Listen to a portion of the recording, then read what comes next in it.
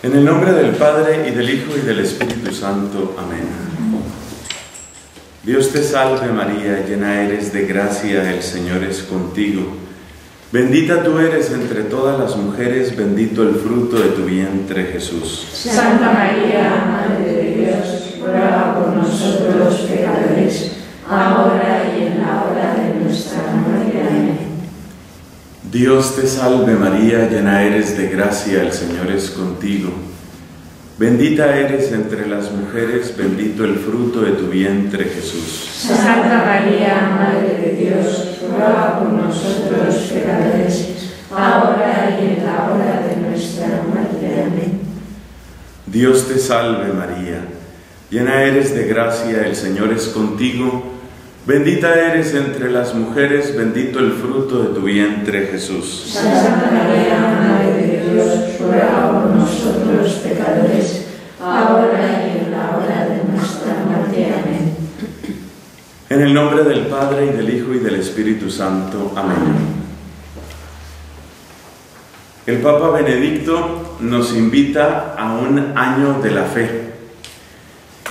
Según disposición y decisión suya, este acontecimiento de iglesia tendrá su comienzo el 11 de octubre del 2012 y culminará con la solemnidad de Cristo Rey en el año 2013. O sea que son algo así como unos 13 meses.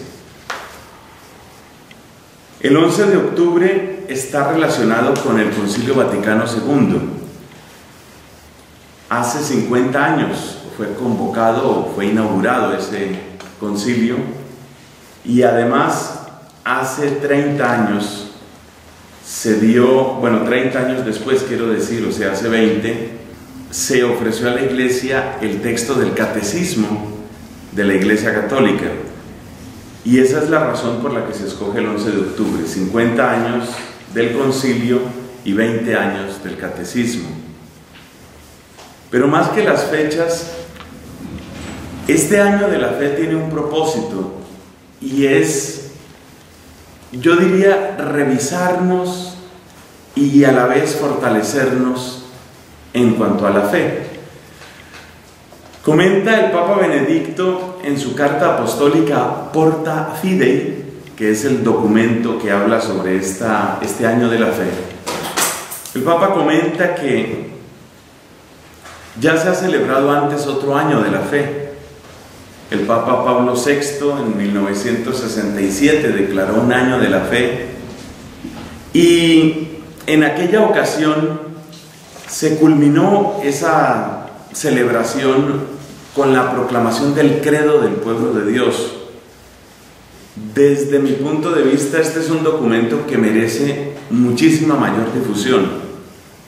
El credo del pueblo de Dios que publicó, que promulgó el Papa Pablo VI en aquella ocasión, es como una exposición ampliada del credo, del credo de Nicea y Constantinopla, credo niceno-constantinopolitano. Seguramente el Papa Benedicto tendrá también en mente la promulgación de un credo o de un documento parecido con ocasión de este año de la fe. Pero todos estos aspectos externos más bien son una invitación a que la iglesia mire un poco por dentro cómo está en el tema de la fe. Y hay un dato muy importante que da el Papa, y es que a veces damos por supuesta la fe. La suponemos como un dato que está en nuestra vida, o que está en nuestras comunidades, o que está en nuestra cultura. Pero hay una serie de señales de alarma que parecen indicar que esa suposición no tiene verdadero piso. Y en ese sentido hay razón para preocuparnos. Voy a comentar algunas de esas inquietudes tomándolas de las palabras mismas, no necesariamente citadas a la letra, de este Papa Benedicto. Ante todo, pues preocupa mucho que los estudiosos de la fe, es decir, los teólogos, con alguna frecuencia nos dejan desconcertados en su manera de exponer el depósito de la fe.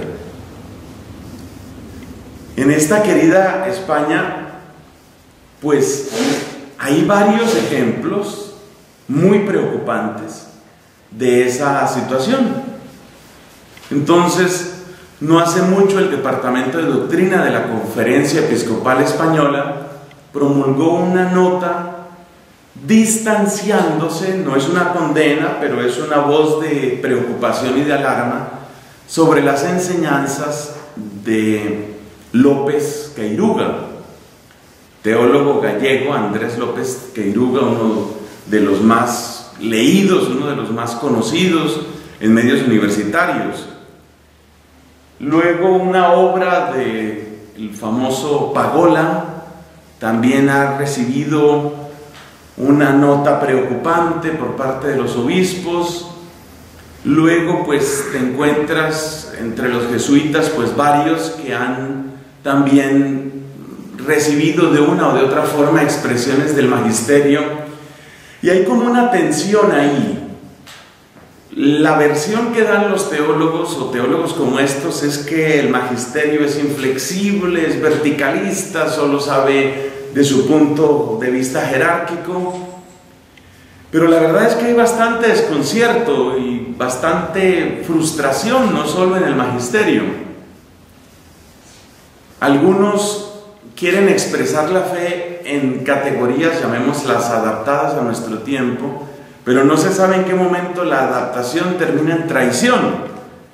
Entonces, resultan, por ejemplo, diciendo que la resurrección de Cristo pues fue un acontecimiento en la comunidad.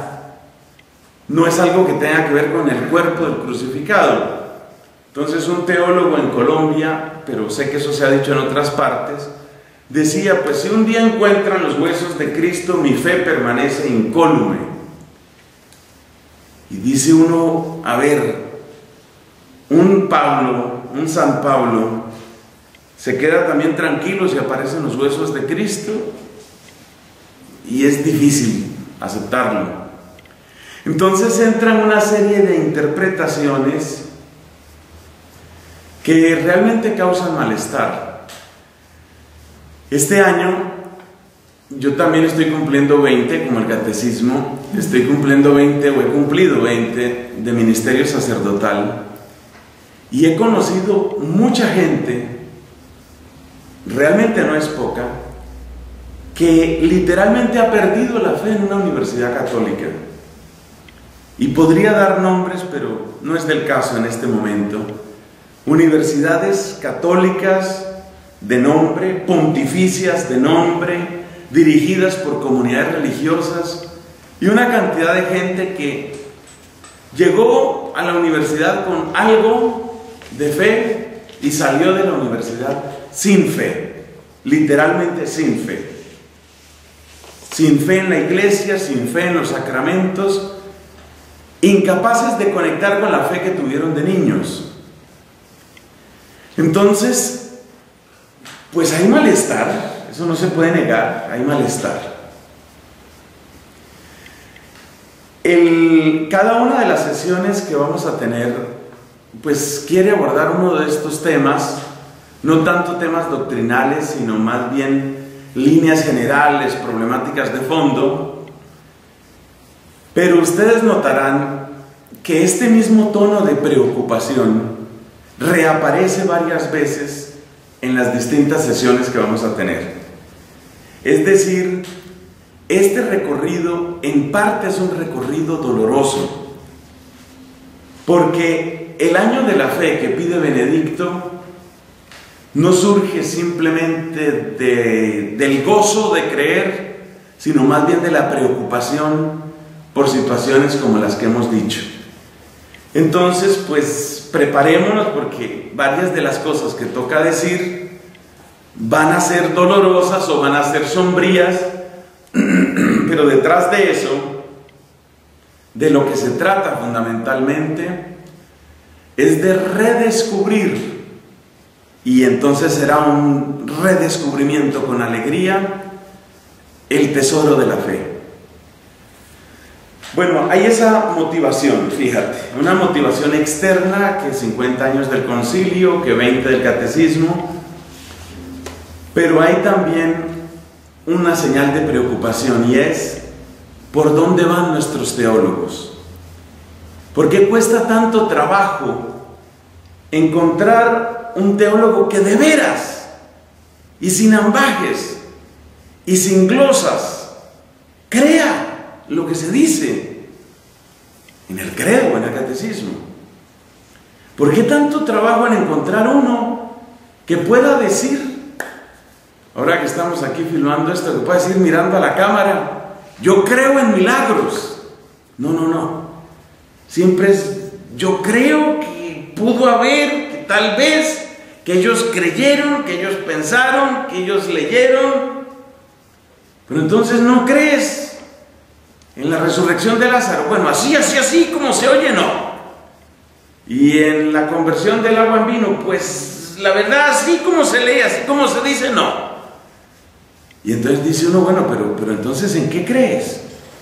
Y muchas veces lo que parece que se cree es más bien una especie de humanismo neutro que equivale a que Jesús vino a realmente animarnos a que fuéramos buena gente.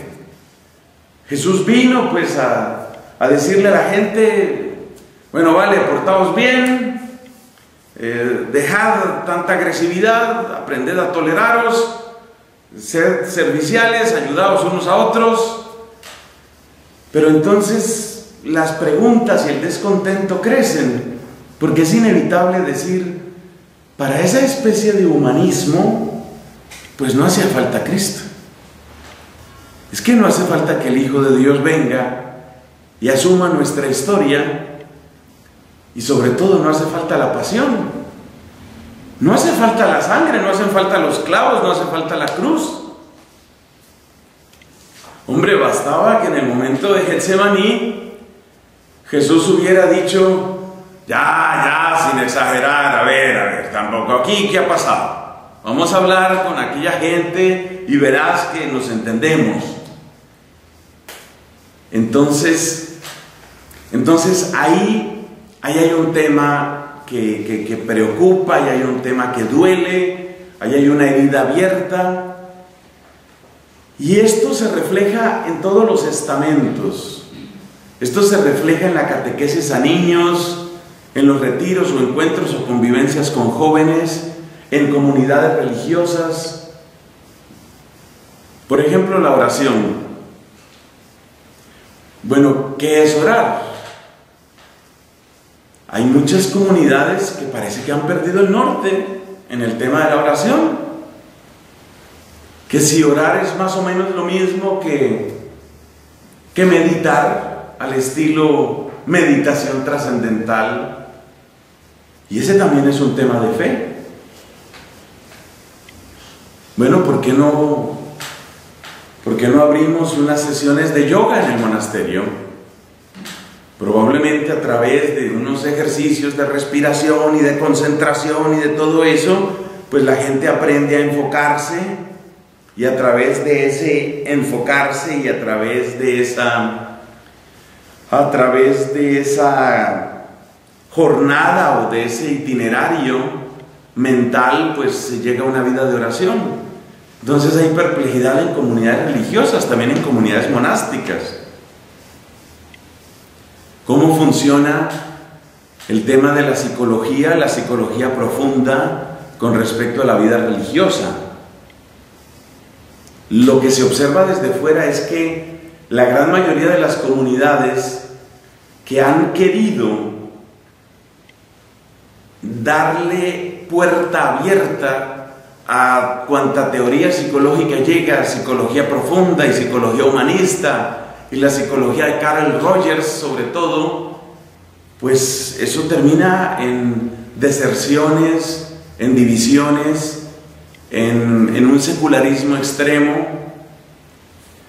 Entonces uno se da cuenta que no es un problema de tres profesores de teología, No es un problema de, de dos o tres doctores que tienen teorías raras. Es algo que se mete en monasterios, es algo que llega a las parroquias. Es una cantidad de enseñanzas extrañas y es también un motivo de perplejidad. Bueno, si eso pareciera poco, pues hay otra realidad y es que si la iglesia desde dentro se puede sentir debilitada porque sus maestros y sus predicadores y sus doctores como que no están convencidos de lo que se dice o terminan interpretándolo de una forma que en el fondo lo niega, ¿no?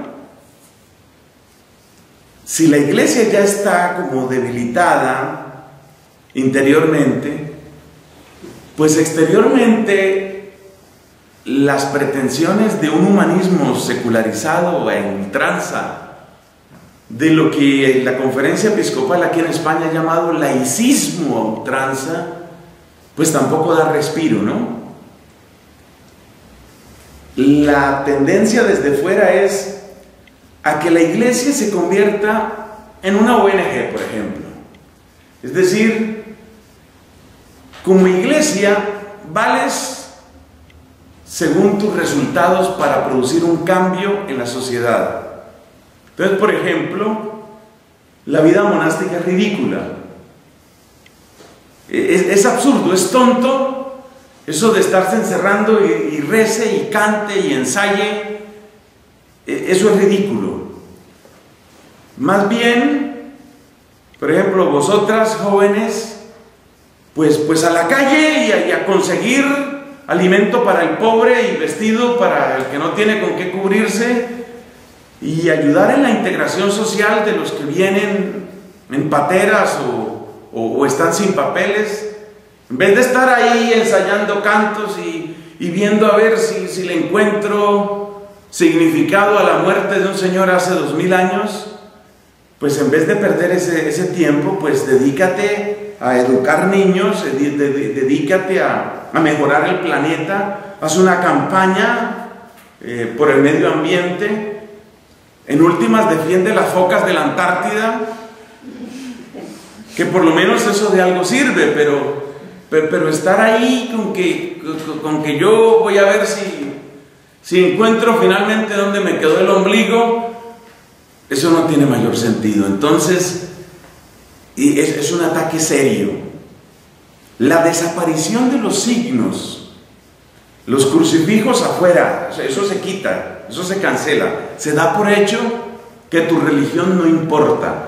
Se da por hecho que la religión no tiene espacio en la plaza pública. Eso ya es un hecho para mucha gente.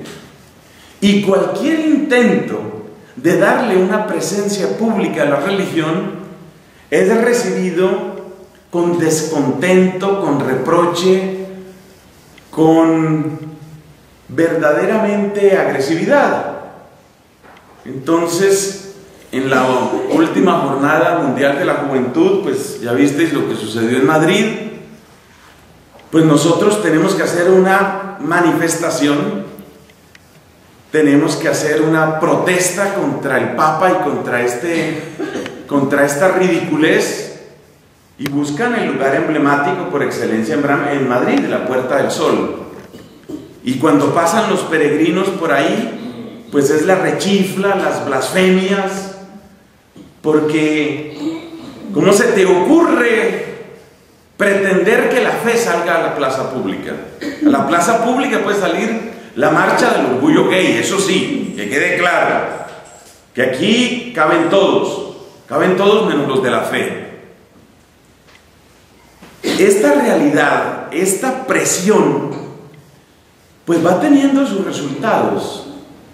Y los resultados son que entonces muchos jóvenes van creciendo en un ambiente en el que son los nuevos dogmas los que hay que sostener.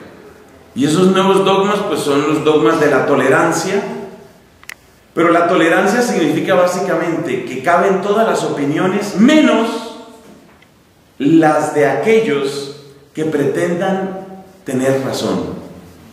Es decir, tú puedes decir lo que tú quieras, lo que quieras, menos no, mientras no pretendas que tienes razón o que tienes verdad. Que alguien vaya a decir que yo tengo la verdad, que yo tengo la razón, cállate, no seas retrógrado, no seas dogmático, no seas carca, tú devuélvete a tu caverna troglodita.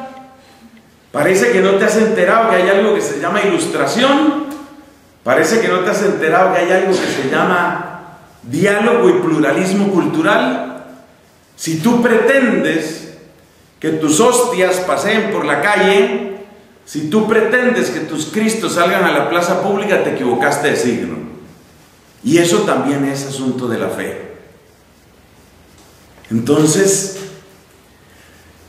entonces pues el cuadro preocupa, el cuadro preocupa. Este año de la fe, desde mi punto de vista, es un viacrucis más que Benedicto XVI ha querido cargar sobre sus espaldas. Porque ya vimos lo que sucedió en el año del sacerdocio. La prensa no perdió una sola oportunidad. Los medios no perdieron una sola oportunidad de restregarle en la cara al Papa y a la Iglesia. Sois unos incoherentes, sois unos hipócritas y sois los más corruptos de todos.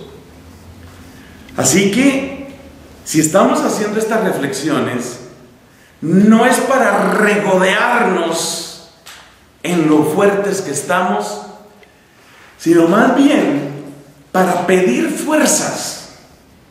Para eso se está celebrando este año de la fe.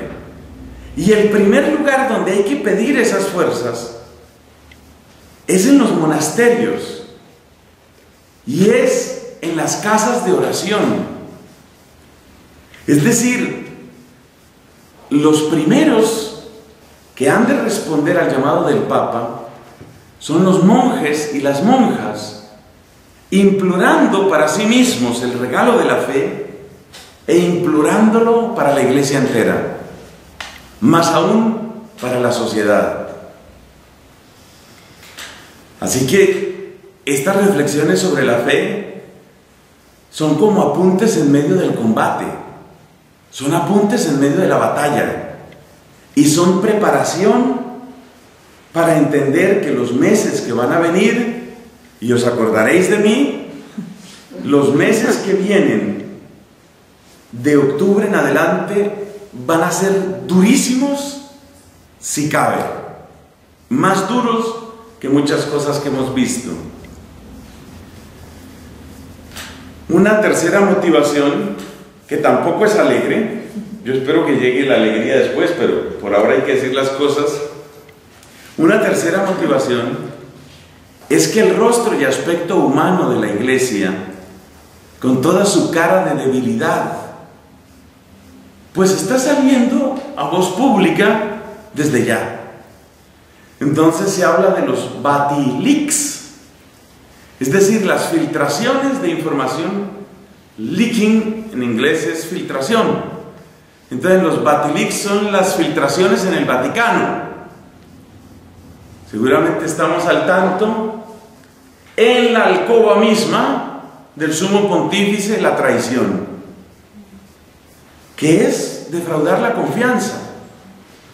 Que es defraudar el derecho a la expresión de la conciencia.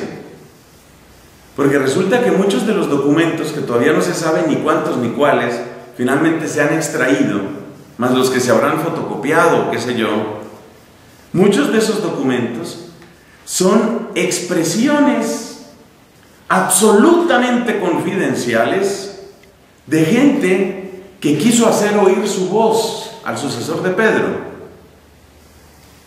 sobre todo personas del mismo entorno del Vaticano, personas de distintas congregaciones, dicasterios. Entonces ponte a pensar, ¿en qué tormenta estamos? Alguien en un dicasterio de estos, en uno de estos departamentos administrativos del Vaticano le escribe al Papa y le dice, por ejemplo, estoy vivamente preocupado porque el prefecto de mi dicasterio, el cardenal, su eminencia reverendísima, eh, ha manifestado en conversación privada tal o cual cosa, cosas de absoluta confidencialidad. Le escribe al Papa. Ese es el tipo de documentos que se han robado. Y además se pretende extorsionar al Papa. Parece que son varios los que están metidos en este complot. Esto no es ciencia ficción, lamentablemente. Esto es algo que está sucediendo a estas horas. Y son varios los que, utilizando el seudónimo de El Cuervo, el Corvo, en italiano, son varios los que pretenden amenazar al Papa directamente y amenazar la estructura de gobierno en el Vaticano. Los enemigos señalados parecen ser el secretario de Estado, Cardenal Bertone, Tarcisio Bertone, y los secretarios personales del Papa, dos sacerdotes alemanes, sobre todo uno cuyo nombre se me escapa en este momento. Entonces, estamos en un momento en el que se pretende extorsionar al Papa. Si usted no hace los cambios, y los cambios es salir de Bertone y salir del secretario y no sé qué más cosas, pues nosotros empezamos a publicar cosas. Esta es una herida gravísima en muchos aspectos.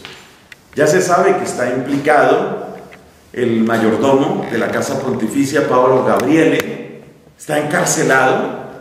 Eso sirvió para que se supiera que en el Vaticano hay cárcel. Está encarcelado, está en la cárcel del Vaticano. Puede afrontar prisión que se cumpliría probablemente en alguna en algún centro de Italia hasta por ocho o un poco más de años si resulta culpable. Pero todo el mundo sabe que detrás de ese hombre hay otros.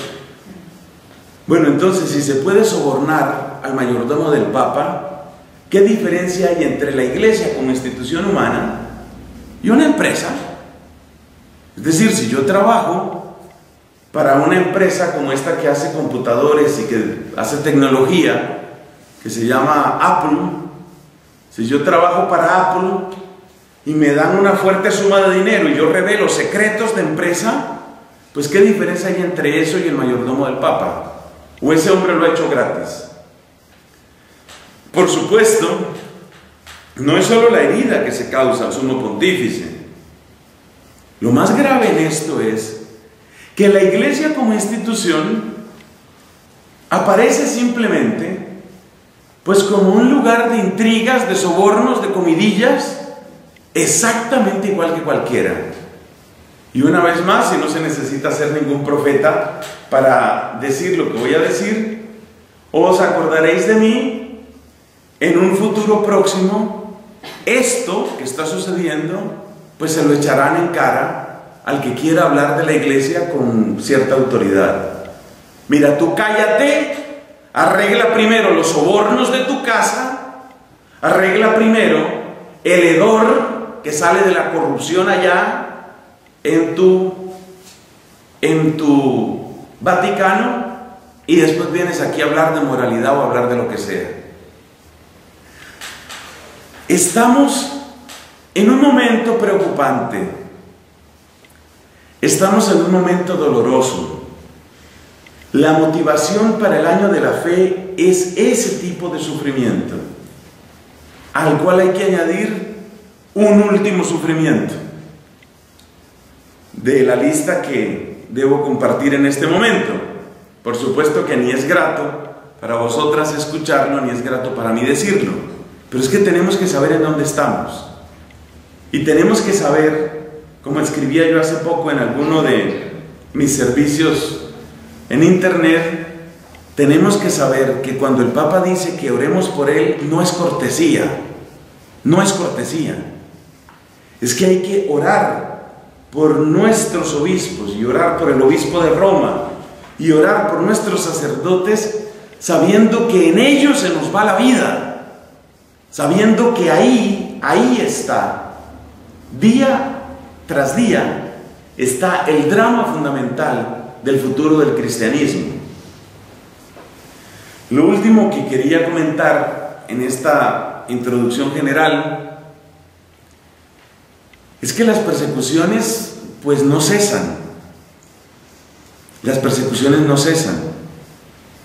Se cuentan por centenares los cristianos asesinados este año en Nigeria. No es en villas remotas, es en Lagos, la capital, y en otros lugares principales. Literalmente hay católicos que ponen su vida en peligro inminente con la sola decisión de ir a misa. Para ellos, la misa es probablemente una de las decisiones más difíciles del domingo. Y no es solamente que arriesgue yo lo mío, sino que si soy padre o madre de familia, pues entonces que voy con mis niños y, y, cuando vuelva a casa los traigo completos o qué. Y esa es gente que está sufriendo por la fe. El fundamentalismo islámico, no solo en Nigeria, sino también en Pakistán, no cesa. El fundamentalismo hindú o hinduista no cesa. El norte de la India es más o menos receptivo y tolerante al cristianismo.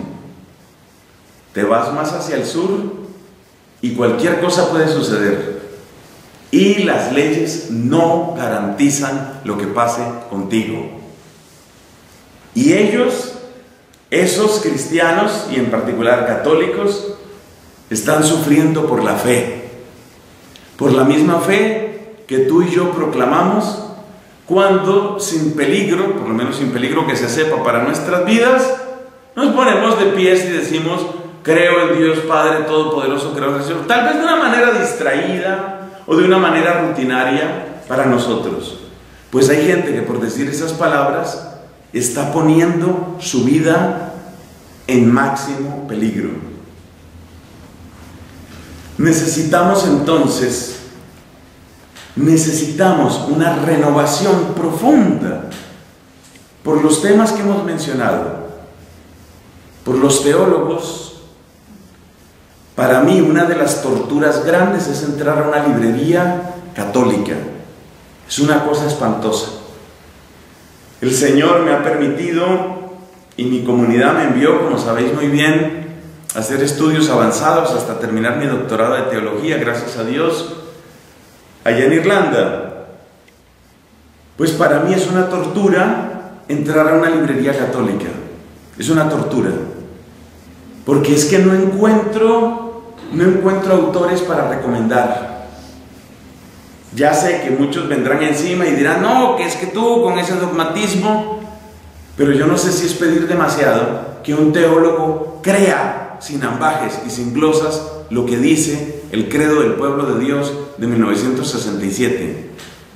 El que no niega los milagros, niega los demonios, el que no niega los demonios, niega la resurrección, el que no niega la resurrección, niega la virginidad perpetua de María, niega la realidad de los sacramentos, niega el primado de, Pedro y de los sucesores de Pedro, o niega todo. Eso, eso duele, eso duele, o sea, si uno tiene algo de amor por la iglesia, eso duele. Y hay comunidades que se ven en dificultades para conseguir un predicador para unos retiros. No sé cómo sea la situación aquí, nunca he preguntado eso, pero hay comunidades que se ven en angustias. ¿A quién traigo? Traigo a este que, que es como bueno y parece que le llega a los jóvenes, pero, pero bueno, no creen milagros. Bueno, con tal de que el tema no sean los milagros, o traigo al otro que ese de la Virgen nada, o traigo al otro que con el Papa no quiere tener que ver. ¿A quién traigo? Eso es grave, eso es triste.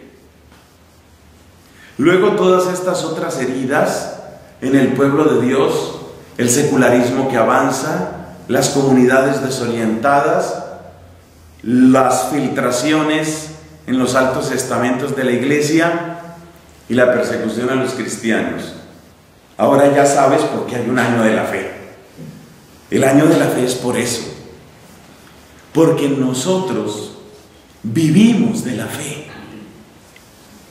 y porque la fe, que es lo más precioso que tenemos y que es el fundamento y cimiento de todo lo demás, pues no vamos a decir amenaza ruina, pero sí vamos a decir padece de grietas y padece de filtraciones y ciertamente se desmorona en algunos flancos.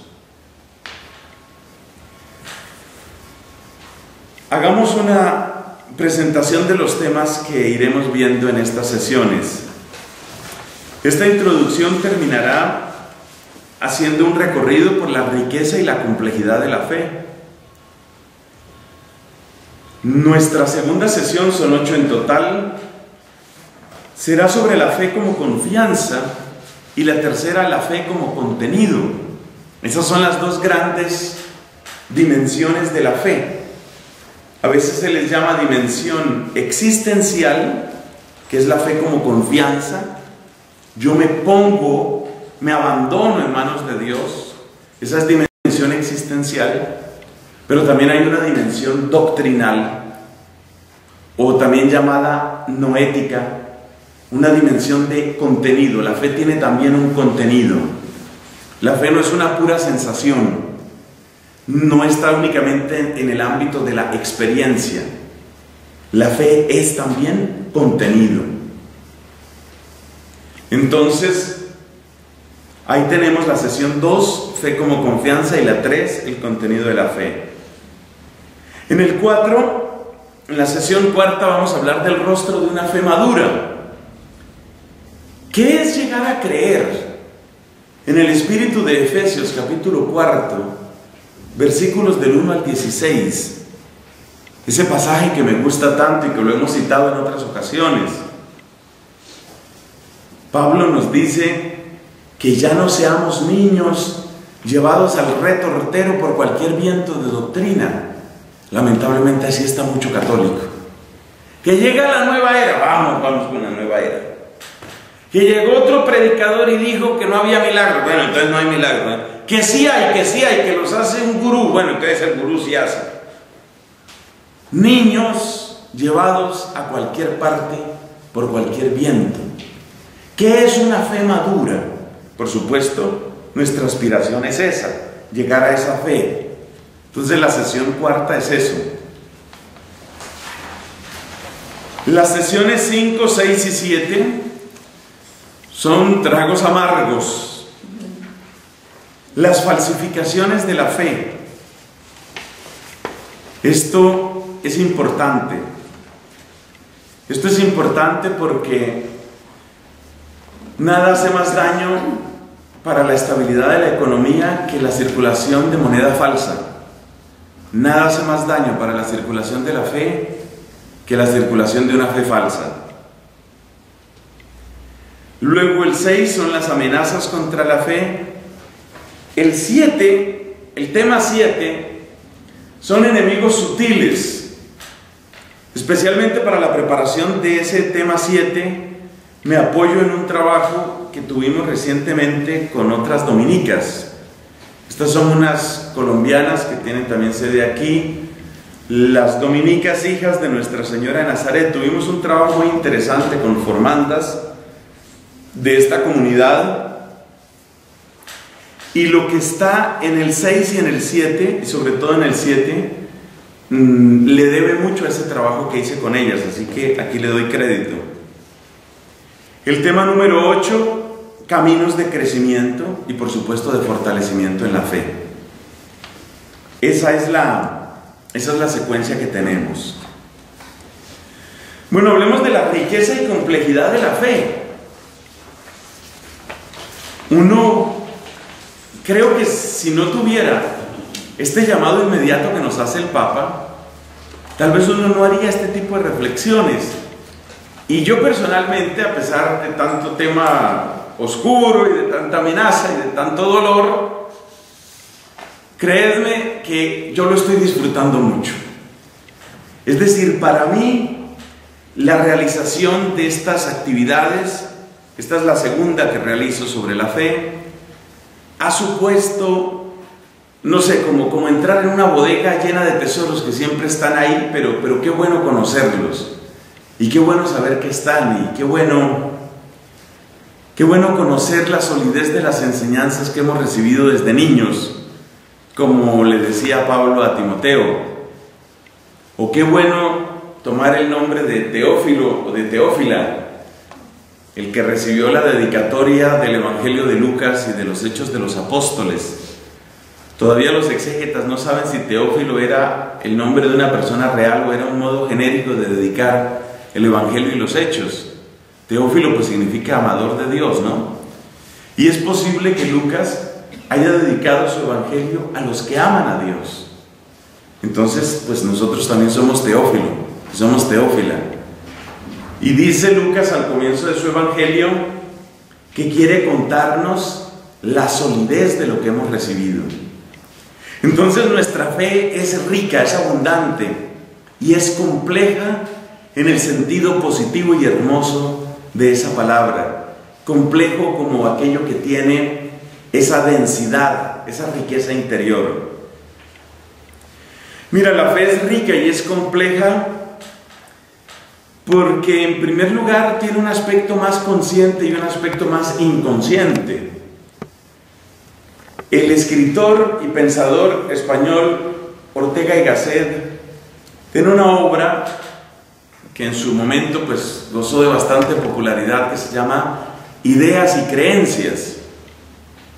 Y una de las cosas brillantes de esa obra es que él dice, nosotros tenemos ideas, pero vivimos en las creencias. Esa idea, bueno, esa frase es bien importante. Tenemos ideas, pero vivimos en las creencias. Entonces una creencia no es simplemente una idea. Las ideas gozan de una claridad, gozan de una estructura, pero también permanecen hasta cierto punto como externas a nosotros mismos. En cambio, las creencias están siempre como en los fondos más íntimos del alma y llegan a tal profundidad que en ocasiones ni siquiera uno puede terminar de formular. Qué experimento tan interesante, por ejemplo, en el trabajo con algunos jóvenes, el ponerles en la tarea de que escriban sus convicciones. ¿De qué estás convencido tú? ¿Cuál es tu norte? ¿Cuál es tu brújula? O como dicen algunos ahora en mi país, ¿qué es lo que tú no estás dispuesto a negociar? ¿Qué es lo innegociable para ti? Quedémonos con esa palabra de lo innegociable, porque sirve mucho para entender qué es lo que se quiere decir con la fe. La fe no es una idea, la fe es lo innegociable. Cuando uno, cuando uno negocia, pues es porque puede cambiar una cosa por otra. Entonces, pues no me duele desprenderme de estos euros y a cambio recibo eh, la comida que necesito, o el vestido que quiero, o un juguete que me gusta. Es un intercambio. No tengo un apego excesivo a este billete porque lo entrego y recibo otra cosa. Eso es negociar. Pero hay cosas que yo no quiero negociar. Hay cosas que jamás quiero que salgan de mí. Hay cosas que quiero que estén en mí y que mueran conmigo y quiero morir con ellas. ¿Cuáles son esas cosas? Ese es, esa es una interesante aproximación al tema de la fe. ¿Cuáles son aquellas cosas en las que quiero y necesito permanecer? Por ahí va la fe. Y atención, que esa es la fe, la fe real. Porque a veces uno puede creer que la fe está en lo que uno responde o en lo que uno dice. Ese sería como el nivel consciente. Pero llega un momento en el que la fe permanece como en lo inconsciente. Y esa, esa línea que uno traza, y uno dice, mira, hasta aquí llego y de ahí no paso, esa línea es muy importante. ¿Qué es lo innegociable? Entonces, como tarea, porque habrá que dejar algunas tareas, como tarea, qué bueno que escribieras unos tres, cuatro o cinco innegociables tuyos. ¿Qué es aquello que para ti es imposible de entregar, imposible de ceder? No importa qué. ¿Qué es aquello con lo que yo quiero vivir y morir? ¿Qué es aquello que todavía permanece en su sitio cuando todo lo demás parece derrumbarse? Porque hay muchas cosas que pueden fallar. Pero hay cosas que aún en la peor crisis yo digo, bueno, por lo menos esto queda, por lo menos esto se salva. ¿Qué es eso que tú dices, por lo menos esto se queda? Luego tenemos que la fe es al mismo tiempo subjetiva y es también objetiva. Subjetiva no en el sentido subjetivista, o sea, caprichosa, el capricho de cada uno, sino subjetiva porque, porque está en el sujeto, porque está en lo más íntimo de ti, precisamente porque está en lo innegociable. Es subjetiva. Atención, distinguir bien subjetivo de subjetivista. La fe tiene que ser subjetiva, pero no solo subjetiva. La fe es subjetiva y es intersubjetiva.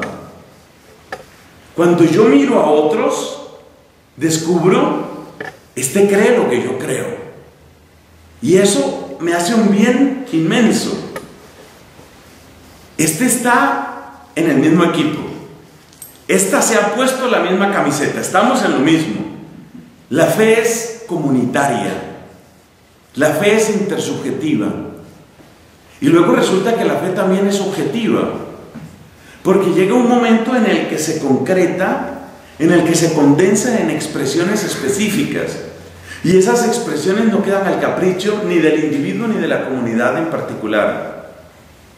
Si una comunidad, por ejemplo, dice, mira, déjate de historias, el Padre, el Hijo y el Espíritu son lo mismo, con distinto vestido, pero son lo mismo. No son lo mismo. Yo no creo eso. Y eso que dices tú no es la fe de la iglesia. Entonces, la fe tiene un aspecto, un aspecto objetivo. Es decir, la fe se puede poner, contrastar con algo que está fuera de nosotros. El símbolo de los apóstoles existía muchos siglos antes de mí. Ha acompañado toda mi vida. Y me voy y ahí sigue. Es decir, también hay una dimensión objetiva.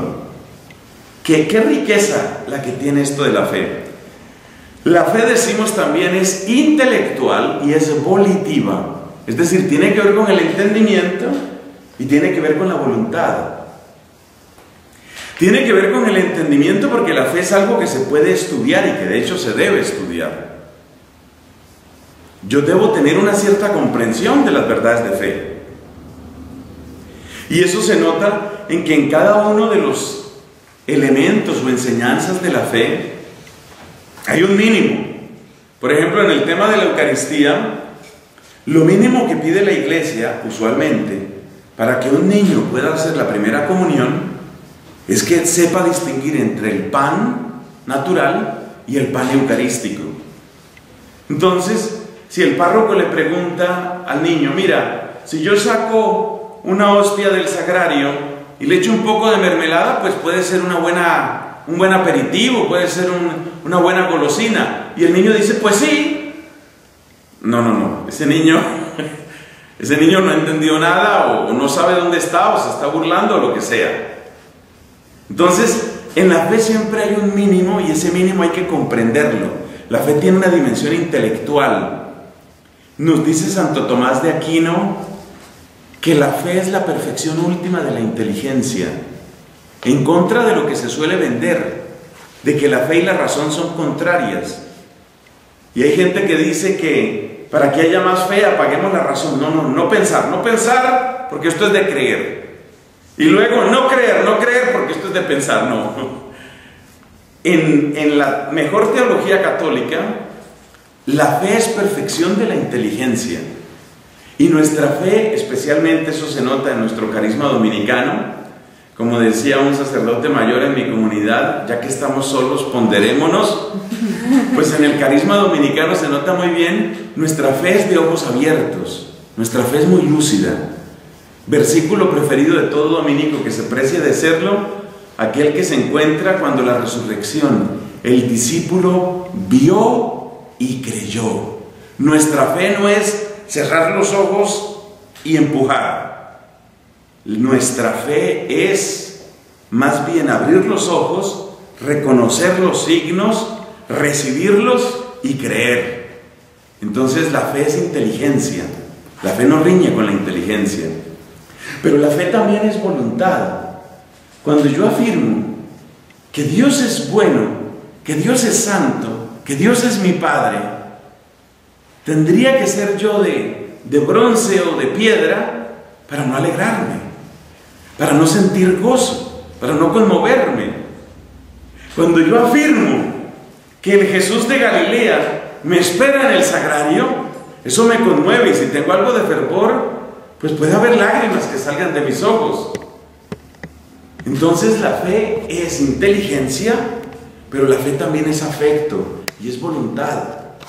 Y los cristianos de Nigeria, de los que hablamos hace un rato, tienen que hacer un acto de voluntad. Bueno, hoy vamos a misa.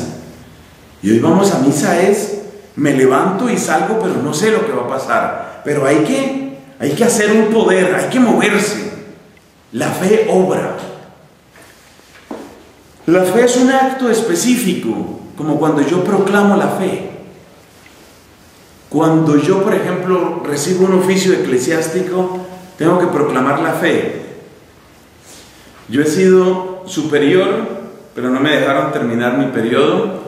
Y he sido prior y tampoco me dejaron terminar mi periodo.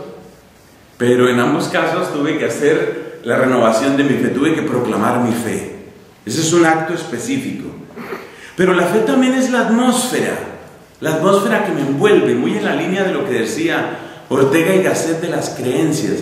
Uno vive en una atmósfera de fe. Y uno, si es creyente, uno va impregnando de fe también el lugar donde vive. Y hay algo tan hermoso en ciertos lugares donde con solo caminar, con solo andar un poco, como que se siente algo. Parece que la fe no solo es esa interioridad, sino que también se convierte como en un ambiente, como en una atmósfera. Eso se nota bien en una comunidad religiosa. Hay comunidades donde la gente parece que se entiende bien, se llevan muy bien unos con otros, pero como que falta esa atmósfera, llamémosla sobrenatural, a falta de otro nombre en este momento. Sí, sí, se entienden bien, y se caen bien y se llevan bien. No es eso lo que me preocupa, es que falta como un sabor. Y seguramente vosotras que escucháis tanta gente por unos caminos y por otros, eso también lo habéis sentido. Hay personas que hablan y uno desde el principio siente, estoy ante un creyente, este cree con todo su ser. Y hay otros que pueden traer su alzacuello, su cuello romano, o pueden traer toda su toda su impalcatura eclesiástica, pero no sé, como que se siente, este, este no termina de creerse el cuento, este no, no, no, le falta algo. Y es atmósfera. La, fe, la fe se irradia, la fe se contagia.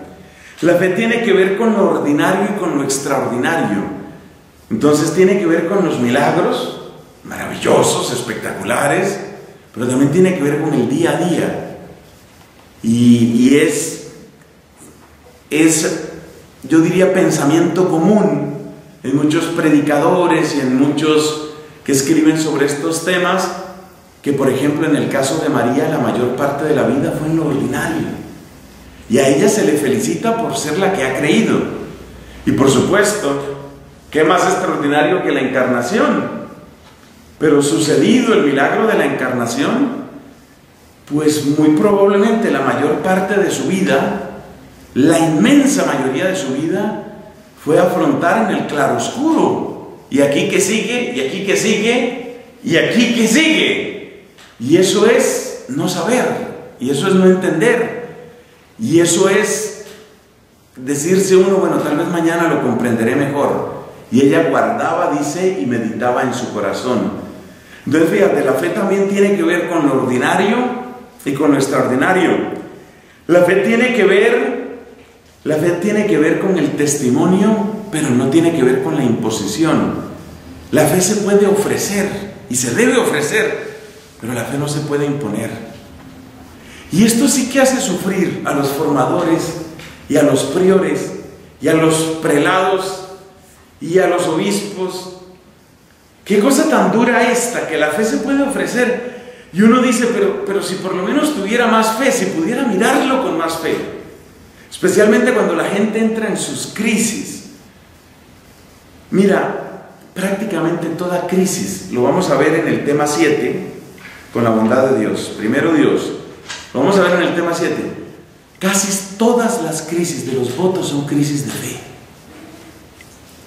Y la persona que tiene un problema de obediencia tiene un problema de fe. Eso es así. Eso es así.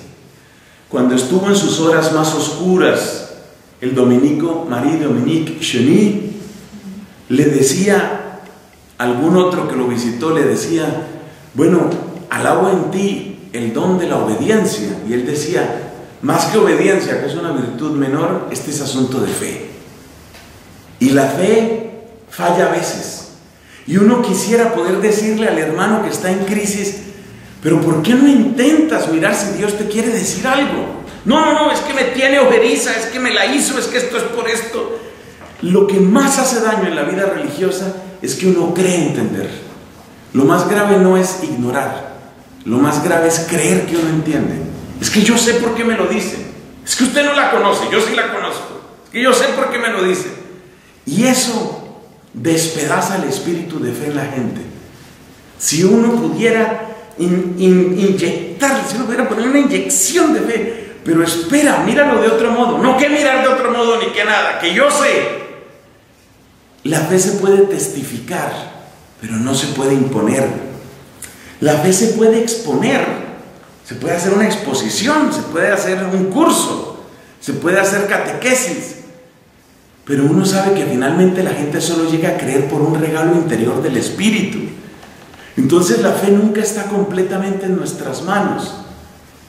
En primerísimo lugar, de la fe se puede afirmar lo que dijo Pablo, llevamos este tesoro en vasos de barro. Y uno sabe que la fe no, no hay manera, no hay sino que pedirla, implorar. Y decía Catalina de Siena, y seguro que esta frase la mencionaré más de una vez, lo primero que hay que pedir para el sacerdote es que crea, que crea, que tenga fe. Eso es lo primero para que se renueve la vida de un sacerdote. Y yo digo para que se renueve la vida de la iglesia. La fe se puede defender, pero no se puede demostrar. Santo Tomás lo dice claramente cuando habla del uso de la razón en materias de fe. Santo Tomás dice, mira, la razón sirve para ordenar una exposición. Y la fe sirve, la razón, perdón, la razón sirve para ordenar una exposición. Y la razón sirve para desarmar, para, para defendernos de los ataques que se hacen contra la misma fe. Para eso sirve la razón. Entonces yo puedo usando la razón, yo puedo proteger la fe. Pero eso es como en, en esas antiguas fortalezas, cuando se ponían los soldados en la muralla, y sí, ellos pueden proteger el tesoro, pero no lo pueden hacer. El tesoro, esas joyas preciosas, ellos no saben ni cómo se hacen. Ellos las defienden, pero no tienen cómo hacerlas. Lo mismo le pasa a la razón. La razón defiende la fe, claro que la defiende, para eso está la apologética, para eso está la buena y sana teología. Y viene alguien a burlarse de la Eucaristía o burlarse de los milagros, o a decir que los demonios no existen, o a decir tonterías de esas, y la razón efectivamente defiende la fe, pero la razón no puede demostrar la fe. La razón requiere a la vez de obras y de palabras. A veces uno dice, no, las, con las obras, yo doy testimonio con las obras. No, no, no, las palabras hacen falta también. No, que yo soy bueno, que hoy el cristianismo debe limitarse a ser bueno y... No, no, no, no es únicamente ser bueno, yo tengo que ser bueno y decir por qué lo soy.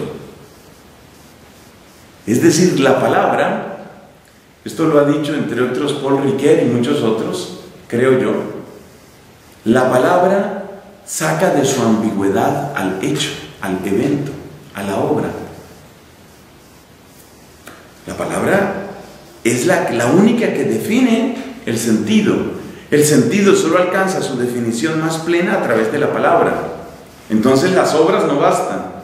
Se necesitan palabras que digan yo por qué hago las cosas. Estás en el monasterio, ese es un hecho. Pero ahora hay que escucharte. ¿Y por qué estás en el monasterio? Pues es que yo iba llegando a una edad en que dije, ya como que nadie se casa conmigo, entonces dije, me voy al monasterio. Ah, pues si esa es tu razón, a ver cuánto vale esa vocación. A ver cuánto vale. Entonces fíjate, la palabra es la que explica por qué. Estoy aquí porque nadie me ha amado tanto como Jesús. Ah, eso es distinto. Entonces son distintas cosas. La palabra saca de la ambigüedad al hecho, a la obra, al evento. Pero la sola palabra, sin la coherencia consiguiente en los hechos, tampoco sirve. Entonces la fe es obras y es palabras y tiene que verse en ambos. Finalmente, la fe obra y transforma el mundo presente. Claro que sí. Hasta la arquitectura. Y hasta el tejido de las leyes. Sí, la, la fe obra en el mundo presente, pero la fe va más allá. La fe no es simplemente una manera de mejorar el mundo, es también una manera de superar el mundo. Y dice Jesús en el capítulo número 16 de San Juan, es una manera también de vencer al mundo. Entonces, la fe es todo eso. Fíjate cuánta riqueza, ahí pues quedan estos apuntes y estoy seguro que tú puedes encontrar otros ejemplos seguramente mejores. Esto es únicamente para que nos asumimos a esa constelación de significados y de realidades que tiene la fe. Y para que le digamos al Señor que esa riqueza acontezca en nosotros. Ya esto nos va dando pistas del tema número 4, es decir, de qué va a ser una fe madura. Una fe madura tiene que ser consciente y tiene que ser también implícita, real, raizal, hasta lo más hondo de mi ser íntima. Tiene que ser subjetiva, comunitaria, objetiva, intelectual, volitiva. Tiene que llegar al acto específico, pero tiene que ser la atmósfera en la que me desenvuelvo. Mi fe ha de vivir en lo ordinario y en lo extraordinario. Mi fe es testimonio, pero jamás la impongo a nadie. Yo sé exponer mi fe, pero no pretendo quitarle su carácter de don yo sé defender mi fe, pero jamás creo que la fe se vaya a demostrar. Yo doy fe de lo que creo, pero manifiesto también la fe en lo que vivo. Mi fe me hace activo en la transformación del mundo presente, pero mi fe sobre todo me pone la ruta hacia la gloria del cielo. O sea que esta riqueza y complejidad ya es una primera respuesta a qué significa creer. Es todo eso. Y en ese sentido, pues es el gran tesoro y el gran cimiento que tenemos. Que Dios mire complacido este esfuerzo y este tiempo que dedicamos a profundizar en ese cimiento y que nos acompañe en nuestras siguientes sesiones. Gloria al Padre y al Hijo y al Espíritu Santo. Como era en el principio, ahora y siempre, por los siglos de los siglos. Amén.